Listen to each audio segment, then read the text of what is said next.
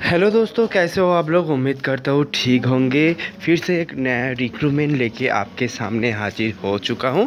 AIIMS की तरफ़ से रिक्रूटमेंट की ऑफिशियल नोटिफिकेशन जारी किया गया है, जिसमें अगर एप्लीकेशन करना चाहते हो तो कर सकते हो। तो यहाँ पे group B C and D के रिक्रूटमेंट की अपडेट मिल गया है। तो आज इस वीडियो के अंदर इसी के बारे में बात करने वाला हूँ। तो दोस्तों, जैसे कि देख सकते हो, मैंने यहाँ पे ओपन कर चुका हूँ all India institute medical science Raipur की तरफ़ से। ऑफिशियल नोटिफिकेशन जिसमें बता दिया जा रहा है कि 20 अप्रैल 2023 से शुरू होने वाला है एप्लीकेशन जिसका लास्ट डेट दिया गया है 20 मई 2000 2003 23 तक यहाँ पे एप्लीकेशन कर सकते हो। यहाँ पे एप्लीकेशन करने के लिए कुछ पोस्ट निकल के आया है। जैसे कि technical officer technical ophthalmology technical assistant technician radiographer technician junior Hindi translator इन सारे पोस्ट के लिए आप लोग यहाँ पे एप्लीकेशन कर सकते हो। यहाँ पे अगर एप्लीकेशन की बात किया जाए तो यहाँ पे एलिजिबिलिटी क्राइटेरिया भी यहाँ पे दिया गया है, जिसको आपको ऑनलाइन में एप्लीकेशन करना होगा। AIIMS Raipur dot edu dot in में जाके आप लोग एप्लीकेशन कर सकते हो।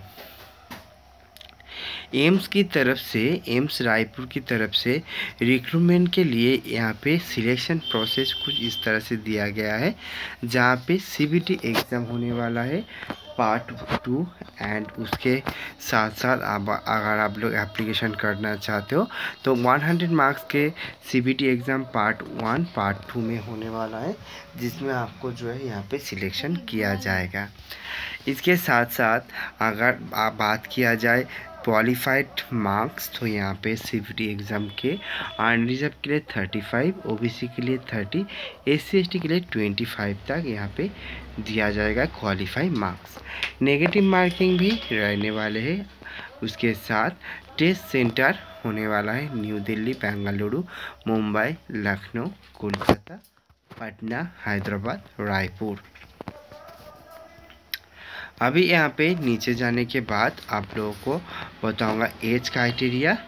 एज क्राइटेरिया जो है यहाँ पे 18 से 30 इयर्स तक एप्लीकेशन कर सकते हो एंड एज रिलेक्शन भी आपको मिलेगा।